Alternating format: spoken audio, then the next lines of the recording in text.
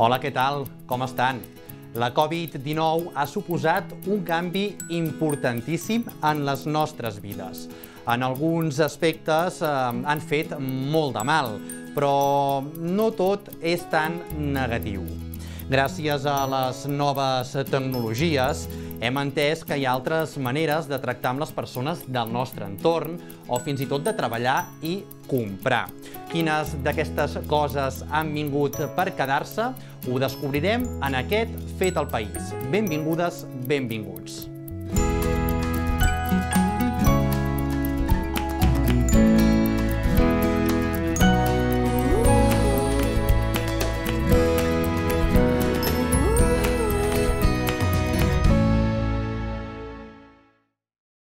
Una setmana més tenim la sort de comptar amb el nostre assessor econòmic, Josep Marfull. Hola, Josep, com estàs? Treballant des de casa? Hola a tothom. Doncs sí, teletreballant, fent reunions via Zoom, la compra online... Sort de les noves tecnologies que han permès no aturar-me. Ja ho crec, Josep. Creus que aquestes noves eines tecnològiques han vingut per quedar-se? Doncs sí, ja no en sabrem prescindir. Com hem anat explicant en aquest programa, amb la crisi sanitària que ha suposat la Covid-19, no tot és negatiu. La humanitat és capaç de canviar quan es veu obligada a fer-ho. Ho ha demostrat una vegada més amb les darreres setmanes per l'amenaça del coronavirus. Aquesta crisi ens ha donat l'oportunitat de fer una millora tecnològica sense precedents, que podem qualificar de les més importants de la història. Les noves tecnologies han permès que, tot i el confinament, haguem pogut mantenir el contacte amb familiars i amics. També que moltes empreses hagin pogut continuar funcionant, això sí, no des de la seva seu, sinó des de les llars dels treballadors. Hem après que podem anar a comprar sense anar a la botiga, que podem anar al metge o a classe sense veure'ns a casa i moltes coses més. Les TIC han permès un canvi molt important en els processos productius, una transformació en la distribució dels productes i una posada en marxa de les noves vies de diàleg entre el govern de la Generalitat i els ciutadans o les empreses. El teletreball, la venda online, les apps han passat a formar part del nostre dia a dia. I tot això ha vingut per quedar-se, ja no té volta enrere. De tot això en parlarem amb aquest programa, que hem titulat Coses que han vingut per quedar-se. Ja ho crec, que sí. Com ha canviat tot. El menjador de casa és un espai de convivència, però ara també és un lloc de treball, un gimnàs, una botiga o també un plató de televisió. Doncs imagina't el canvi que han fet les empreses. Fins ara els empresaris compraven noves tecnologies si això els permetia produir millor, més ràpid o més barat. Ara, els empresaris han entès que la tecnologia no és només per guanyar diners, sinó que és necessària per a la seva supervivència. De fet, les TIC han estat les eines que han permès que no s'hagi parat econòmicament al país. Es calcula ara mateix que més de 200.000 persones estan treballant des de casa a Catalunya. Segons l'EPA, l'enquesta de població activa, al nostre país, al dia d'avui, hi ha més gent treballant al sector tecnològic que l'automobilístic. La tecnologia està donant més feina que l'automoció i ara mateix la demanda de professionals del sector tecnològic supera de bon tros l'oferta. Per tant, el talent tecnològic és la clau de la revolució digital i caldrà fer el possible per retenir-lo. A part de la manca de professionals, això va a més i suposa noves fites. Però, Josep, Catalunya està prou preparada tecnològicament? Home, jo crec que sí. Per poder evolucionar amb el món digital cal tenir les autopistes tecnològiques en perfecte estat, i nosaltres les tenim. Un exemple d'això ha estat la prova d'estrès de la crisi de la Covid-19. Temporalment, amb el període de confinament, el tràfic de dades per les xarxes ha incrementat en algunes zones un 50%, però en algunes àrees ha arribat fins al 300%, el triple de l'habitual. Les xarxes han admet aquest increment, sobtat d'activitat i no s'han col·lapsat. La Generalitat ha desenvolupat un conjunt de projectes per fer possible la nova societat i economia digital. Alguns d'aquests projectes han estat creats específicament per fer front a les adversitats generades per la Covid-19. I aquestes noves maneres eh, de treballar i utilitzar les noves tecnologies seran prou segures pel que fa a la privacitat de les persones? Ben vist, Rubén. Aquests reptes que planteja són molt importants i preocupen a la societat. Et proposo parlar amb una persona que et donarà moltes respostes al respecte. Parlaràs amb en Daniel Marco, director general d'Innovació i Economia Digital del Departament de Polítiques Digitals de la Generalitat. Genial, Josep. Doncs no marxis, que en uns instants eh, comentem el que m'expliqui. Perfecte.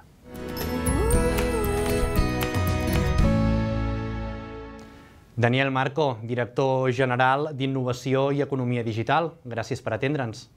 Hola, moltes gràcies per, per convidar-me. El confinament ens ha fet tenir una visió positiva del que les noves tecnologies poden fer per nosaltres.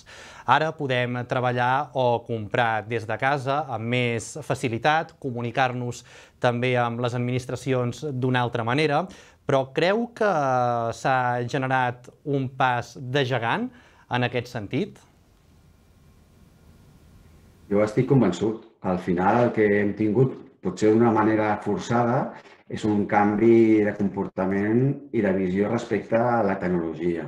El que ha canviat realment és la, la mentalitat. ¿vale? Els, els anglosaxons diuen el, el mindset, que hi havia barreres que potser no objectives, deia això no es pot fer, això no podrà ser, la gent no, no, no ho farà, i de cop, no, per la necessitat d'estar a casa i mantenir la, la, la, la connexió amb, amb els altres, eh, hem tots utilitzat les, les eines, no? com ara que estem fent aquesta, aquesta, aquesta entrevista. Per que jo diria que hem fet no pas de gegant, no? de, més que de gegant, 5 o 10 anys en dos mesos. I, i això ens permetrà pues, eliminar moltes barreres que teníem. Hem demostrat que la tecnologia està preparada i que és qüestió de, de posar-nos a, a, a utilitzar-la. Quines eines eh, s'han posat a l'abast dels ciutadans o de les empreses per poder treballar des de casa o assessorar les empreses en aquests moments tan complicats? Al final, de cop, o hi havia teletreball o no hi havia treball.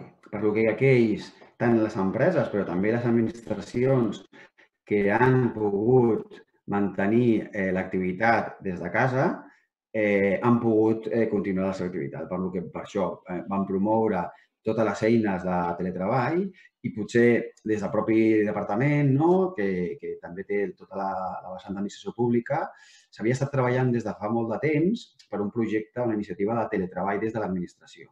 I per això la Generalitat ha sigut les administracions que estan més preparades i que no, aportant dades eh, al voltant de 40-50.000 eh, servidors públics treballant des de casa. Això permet eh, mantenir serveis, mantenir eh, que el, la les tramitacions del ciutadà, que les ajudes que s'estan oferint tinguin eh, eines digitals per, per, per, per accedir-hi.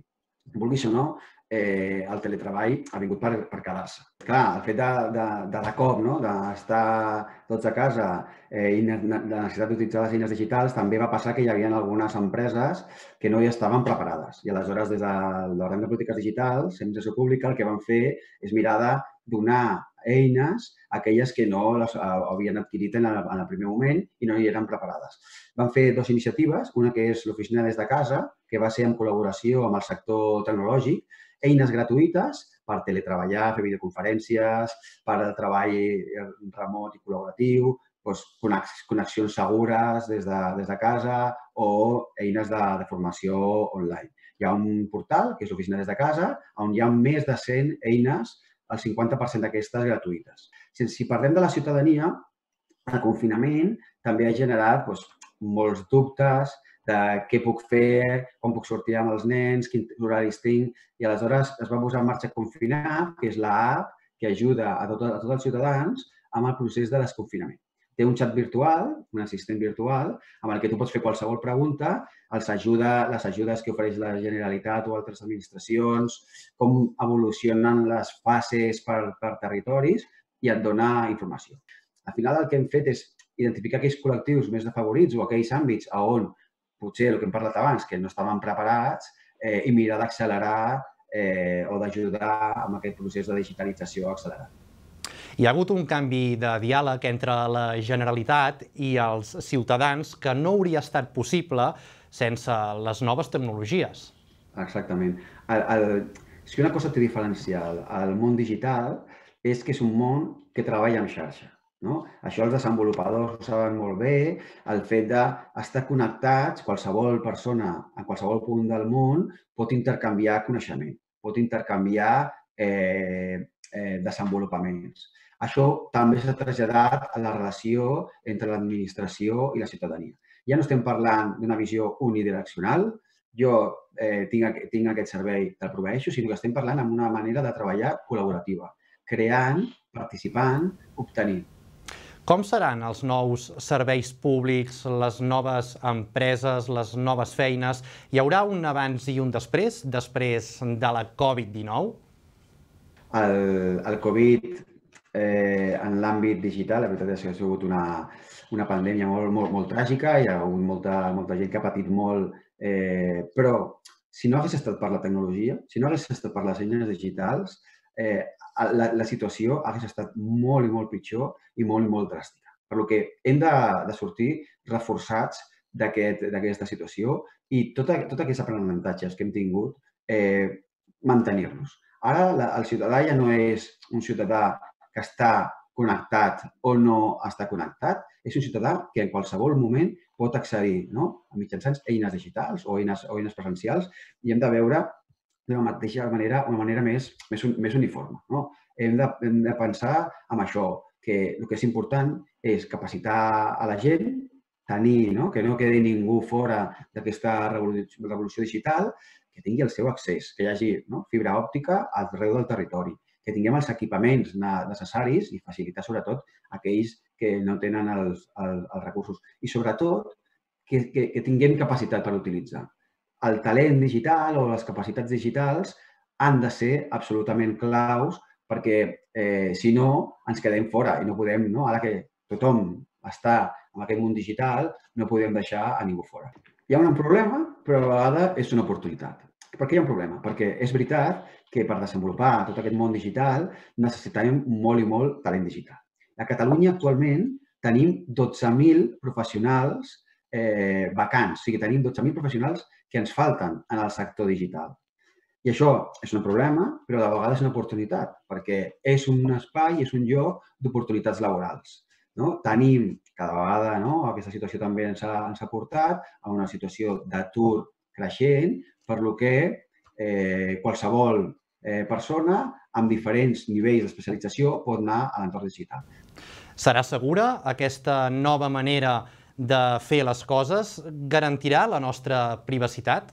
El que és evident és que cada vegada estem més i més connectats i ho estarem més per al que hem vist. Per lo que és més i més prioritari el concepte de la ciberseguretat, la seguretat en el món digital. I això, per això, de fet, un dels eixos principals de l'estratègia del govern digital és fer de Catalunya, desenvolupar Catalunya com un país cibersegur. Per això va posar en marxa, ha posat en marxa aquest, aquest 2020 l'Agència Catalana de Ciberseguretat, que ofereix, que desenvoluparà, desplegarà un servei públic de ciberseguretat. Això què vol dir? Això vol dir ajudar a tots els ciutadans, ciutadanes, a totes les empreses a eh, estar segurs amb el món digital. I això, evidentment, implica utilitzar eines, utilitzar els antivirus, utilitzar eines de protecció, utilitzar processos dins de les empreses, però tam sobretot, també, sobretot, un tema de cultura de ciberseguretat. L'actualització de les contrasenyes, no connectar-se a wifis que no, que no, que no, que no coneixes, tenir eh, cura dels teus continguts digitals i l'intercanvi que fas a les xarxes socials. Hi ha també una necessitat d'educació a tota la ciutadania en l'àmbit digital, per lo que cibersegur sí, és una absoluta prioritat, és possible i, i la realitat és que les, les eines digitals ho permeten, però necessitem una conscienciació important. Efectivament, el, el, el, la tecnologia no, el, que, el que permet precisament és tenir una accessibilitat a la, a la gent d'una manera constant i també captar, no, traçar totes les, les accions que va fent en el món digital. Això vol dir que ten, tenim molt accés a les, a, la, a les dades. I això implica, a vegades, per una, una possible pèrdua de la privacitat, per lo que eh, s'ha de tenir molt clar en l'ús de la tecnologia a l'àmbit que diem de l'ètica dins de l'ús de les dades relacionades amb la, amb la tecnologia. A Europa tenim un marc regulatori molt fort amb la GDPR, no? el que seria la llei de, de protecció de dades, i el que s'està buscant és l'empoderament de la ciutadania. Que la ciutadania sigui el que tingui la capacitat, primer, de donar accés o no a les teves dades, Segon, de poder controlar qui, quin ús es fan amb aquestes dades. I aquí és on hem d'abordar. Per fer això, necessitem que la ciutadania sigui conscient d'això. Necessitem, el mateix que hem estat parlant abans, que hi hagi competències digitals i que entenem que quan estem nosaltres utilitzant una aplicació mòbil, darrere hi ha un algoritme que conté informació del que estem fent. O que si estem movent amb el cotxe a Google Maps, darrere hi ha aquesta informació. En el moment que agafem aquesta consciència, podrem ser també més, més capaços de saber en quin moment cedim les dades. Eh, la, la, la construcció no, de la nova Europa, el nou, el nou procés de, de construcció d'Europa, es basa en dos eixos, que és l'eix de la sostenibilitat, no? buscar una Europa, uns països més eh, sostenible, i també l'eix de la digitalització, que és com la transformació digital canviarà el conjunt de la societat. I això és per protegir les persones, per anar no, a favor de les persones, a empoderar les persones i a l'entorn on estem, on estem vivint. Al final anirà tot, tot de la mà, però segur, segur que la tecnologia ha de ser la palanca perquè la ciutadania eh, pugui fer, no, arribar a les aspiracions que vol. I ha de ser doncs, això, en un entorn més inclusiu, més sostenible, però també també eh, més liderat pel, pel propi ciutadà. La digitalització compta amb molts detractors que creuen que pot acabar amb molts llocs de treball. Vostè què, què els hi diria? Sí, és veritat que hi ha un debat no? sobre el, el, la incorporació de la tecnologia de manera massiva, sobretot en els àmbits productius i la possible destrucció de llocs de treball. Nosaltres hem fet un estudi a Catalunya sobre l'impacte de la indústria 4.0 i el, el resultat surt positiu. Vol dir que es generen més llocs de treball que els que es destrueixen. Però la veritat és que es destrueixen alguns perfils. El que fem és crear nous entorns de treball i destruir-ne d'alguns. El que s'ha de fer és treballar amb anticipació perquè aquesta gent que no podrà treballar amb allò que està treballant ara pugui capacitar-se per entrar a treballar en noves, en noves feines. Però el que és segur, segur, és que aquest procés de digitalització arribarà a totes les economies. I aquelles que no estiguin digitalitzades perdrem tant els llocs de treball tecnològics com els no tecnològics per lo que l'aposta per la tecnologia ha de ser clara. Senyor Marco, moltíssimes gràcies per haver-nos atès aquests minuts. Prenem bona nota del que ens ha comentat.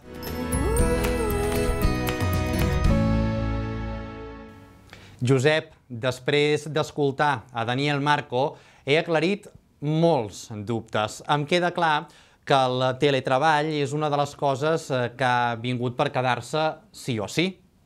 Jo ho crec. Tot i que existia, el salt que ha fet és espectacular. Tal com ha dit el director general d'Innovació i Economia Digital, les empreses que han pogut incorporar el teletreball no han hagut d'aturar la seva producció. Era teletreball o no treball. Però avui dia encara hi ha moltes empreses que no hi creuen amb el treball eh, a distància. Tenen por que el grau d'implicació dels treballadors no sigui el mateix. Doncs haurem de canviar el xip i mai millor dit, perquè totes les dades indiquen que amb una combinació de tecnologia, un entorn favorable a l'habitatge dels treballadors, amb tasques ben definides, amb correctes seguiments, amb objectius clars de, clars de treball i comptant amb l'autoresponsabilitat i la disciplina horària del treballador, és possible obtenir els mateixos o millors resultats que en el treball presencial. En sèrio? De, de debò? Ni tant. Segons Cisco, el teletreball pot ser molt positiu per a les empreses.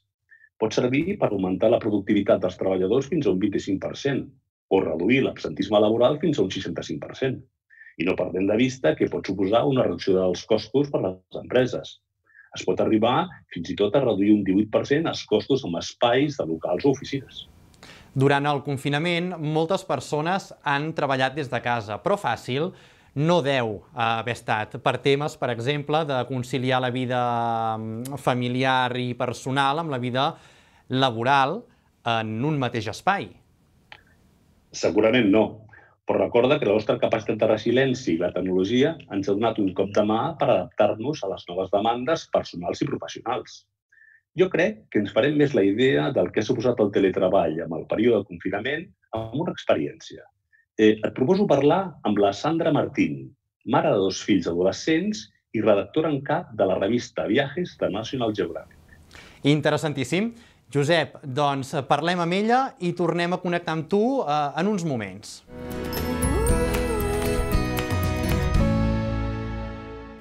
Sandra Martín, redactora en cap de la publicació Viajes National Geographic.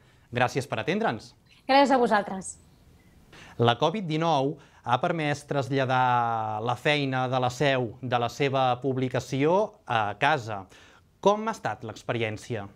Efectivament, el, el canvi va ser brusc perquè uh, la meva empresa és una empresa amb cultura més presencial i sempre anàvem allà la, totes les hores, no? I de cop de la nit al dia doncs vam, ens vam veure tot l'equip, tot l'equip meu de Viajes National Geographic, però totes les revistes de RBA també, tots a casa treballant eh, amb, la, amb condicions que no són les, les, les idònies, perquè, clar, cadascú tenia un, un aparell, un ordinador diferent, Eh, hi havia gent que no tenia els ordinadors preparats per poder-se connectar amb sistema remot. Tampoc mm, que a casa no tens un espai propi. Hi ha gent que sí que té, té cases molt grans o que no tenen criatures, no tenen fills i llavors disposen d'un despatx, no?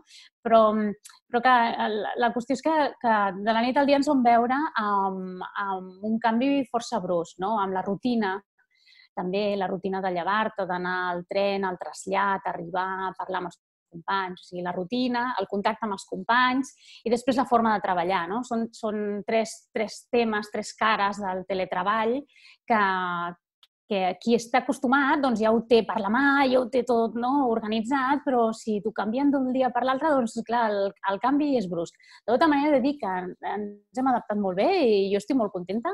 Eh, seria capaç de fer-ho, no tindria cap problema, és més, m'estalviaria molt trasllat i fins i tot moltes, moltes estones que estàs desconcentrat perquè, perquè tens telèfon, perquè tens moltes interrupcions, que aquí a casa, doncs, en el meu cas, que els meus fills són adolescents, no tinc tantes interrupcions. Per tant, no, no em sembla malament. Jo podria fer perfectament dos o tres dies a la setmana. El deixo aquí aquest missatge. Aquesta nova forma de treballar ha estat, sens dubte, efectiva. En dos mesos eh, s'han editat els dos exemplars que, que tocava i amb l'empresa s'han establert, eh, s'ha establert un, un pacte que podem assegurar que ha estat de plena confiança. Exacte, correcte. Totes les revistes de RBS estem treballant a casa gràcies a que l'empresa hi ha confiat. El Departament d'Informàtic va tenir una reacció molt ràpida, va posar a l'abast de tothom les eines per, per poder treballar des de casa i jo crec que, mm, tot i que eh, la cultura presencial sempre ha estat molt important. Eh, crec que sí, ha confiat en els treballadors i, i, i a més a més, ho ha pogut comprovar. O sigui que eh, la, la feina eh, es comprova amb, amb això, amb els resultats, no? I totes les revistes hem tret ja dos números al carrer, dos mesos, i, i, i es pot veure el resultat. De tota manera, també t'he de dir que les empreses tenen formes eh, també més evolucionades de comprovar si els treballadors eh, estan treballant o no. Això d'estar connectat amb format remot mm, permet que l'empresa, si vol, pot veure si tu estàs connectat i si estàs fent feina. Jo crec que, que això del teletreball eh, no sé si ha vingut per quedar-se definitivament, però sí que ha obert una porta a, a molts empresaris i a molts treballadors que no acaben d'estar del tot còmodes amb, amb el seu funcionament, no? amb el seu dia a dia o fins i tot per, per, per, uh, per, per, per fer que les famílies també tinguin una mica més de, de, de temps o gent que treballa, que treballa molt bé però que viu molt lluny i que no, i que no pot arribar a la feina en condicions. Eh, espero que sí, que les empreses vegin que, que els treballadors som gent responsable, no som nens petits, no? I, i, que, podem, i que podem donar o, també tot el nostre esforç eh, sense necessitat d'anar-hi. Mm, jo crec que és una porta oberta, que es pot aprofitar, no, no cal que sigui a tope ni de cop, això dependrà de cada empresa, de les necessitats que tingui, però si és una porta oberta. Vés de saber si d'aquí uns quants mesos hem de tornar al confinament. Diries que el grau d'implicació és major treballant d'aquesta manera? I d'altra banda, com portes la conciliació familiar, el fet de viure i treballar en el mateix espai? Aquesta és, aquesta és la part dolenta, clar. La part bona és que no, de la, del teletreball és que estàs a casa no has de fer trasllats, no? La part dolenta és que mentre tu estàs aquí concentrat, doncs, t'entren eh, fills, si són petits ja no m'ho vull ni imaginar, no? Els, I si no, són els adolescents que entren, que demanen, que tal, que s'ha de fer el dinar, que s'ha de fer el sopar, encara que no visqui, jo no, no sóc una família monoparental, per tant, tinc la meva parella que també també col·labora i també fa coses, evidentment, no? Però, clar, és la, és la part, la part aquesta dolenta d'interrompre't. I després el, el que tu deies, no? que clar, acabes fent més hores, perquè dius, ara com que m'he d'aixecar i he de mm, posar-me un moment a fer una cosa domèstica, no? doncs després allargo. I, I al cap de setmana, el dissabte, mira, saps què? Allò que em va quedar, no? pues entro i, i ho, acabo de, ho acabo de polir i ho deixo llest i tal. I clar, et costa més desconnectar, això és veritat. Crec que en, en aquest cas, doncs, les empreses podrien aprofitar perfectament, perquè en realitat treballem més hores. No fem... Jo intento mantenir l'horari, eh? l'horari que, el mateix horari que faig, que, que faig a la, a la feina per salut mental. Eh? Salut mental i física, perquè estar assegut tantes hores tampoc no és bo. No? Eh, I mental, perquè si no és que m'explotaria el cap i, i, i la vista de mirar l'ordinador. Però és molt difícil, és molt difícil perquè si t'agrada la teva feina t'involucres i, aca i acabes sempre allargant uns minuts, uns minuts, que acabes sent mitja horeta, ai, mira, una hora... Després la tècnica, va, els ordinadors van més lents, no? No és el mateix que en una gran empresa que des d'allà l'equip informàtic i la xarxa va superràpida i tot funciona bé. No, no, a casa cadascú té el, el seu ADSL o el que sigui i li funciona a trompicons, no? I, i clar, és una mica més lent. O sigui que sí, dones, dones més hores a l'empresa, però a canvi tens petits moments que, que te'ls pots reservar per tu, no? per, per això, per fer alguna cosa domèstica que, que no has pogut. Sandra, moltíssimes gràcies per haver-nos atès i haver-nos apropat a la teva experiència amb el teletreball. Gràcies a vosaltres per l'oportunitat d'explicar la meva experiència.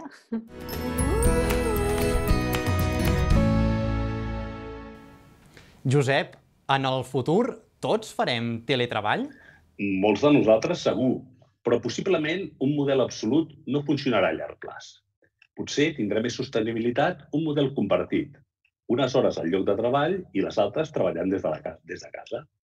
Precisament aquest model mixt és el que està preparant la Generalitat, que donarà a uns 40.000 funcionaris l'opció de poder treballar fins a dos dies a la setmana des de casa. I quines són aquelles empreses que estan més obertes al teletreball? Segons la guia de Mercado Laboral 2020 de HAIS, que es va elaborar abans de l'actual emergència sanitària, les multinacionals són les empreses que estan més obertes al teletreball, en concret un 71%. La segueixen les startups, amb un 66%, i les pimes, amb un notable 64%. La nova situació farà que moltes empreses es plantegin incorporar el teletreball com una millora en les condicions de treball i alhora com una forma de reduir costos. Segurament caldrà canviar la política retributiva dels empleats tenint en compte l'estalvi que el teletreball pot suposar tant a les empreses com als treballadors. Són moltes les coses que hem de polir en aquesta nova era digital. Doncs sí. Tot i el pas de gegant que hem fet en només dos mesos, ens queda molt camí per recórrer. Les noves necessitats han permès canviar els processos de distribució de productes, per exemple, a través de la venda online, canviar les formes de producció a través del teletreball, canviar les relacions entre l'administració i moltes altres entitats a través de les xarxes o les apps, que han esdevingut avui eines fonamentals per saber com actuar amb aquesta crisi sanitària. Tot plegat ha fet possible que l'economia del país no s'hagi aturat del tot, o bé que ens ajudi a engegar progressivament la seva maquinària. Aquestes tecnologies que han vingut per quedar-se, sobretot el teletreball, ens demostren que és possible un altre tipus de relació entre l'empresa i el treballador. Relació basada en la confiança, la sostenibilitat i la conciliació familiar. Josep, i creus que Catalunya podrà estar al davant amb, amb els que lideren aquesta nova era digital? Jo crec que sí. Ja fa temps que treballem per fer-ho possible. Pensa que la fira tecnològica més important del món, el Mobile World Congress, es celebra a Barcelona i ens permet ser el centre de la, de la, de la tecnologia a nivell mundial. Totes les innovacions es venen a presentar a casa nostra. Si juguem bé les nostres cartes, aquest Congrés Mundial ens ha de permetre vehiculitzar al seu voltant un clúster digital que ens ajudarà a obrir-nos al món i a la nova societat digital. Josep, et proposo que en el programa de la setmana vinent tornem a parlar de coses que han vingut per quedar-se, perquè avui és evident que no ens ha donat temps ni de parlar ni, ni de la venda online, ni de les aplicacions i del que està suposant aquesta, aquesta crisi sanitària. Hem tingut temps per explicar una part, però no tota. Em sembla perfecte. La setmana que ve Coses que han vingut per quedar-se, dos. Gràcies per tot, Josep. Gràcies a vosaltres. Bé, doncs, nosaltres ho deixem aquí, ens acomiadem de tots vosaltres fins al programa que ve, la setmana, la setmana vinent. Mentrestant, que vagi molt bé. Adéu-siau.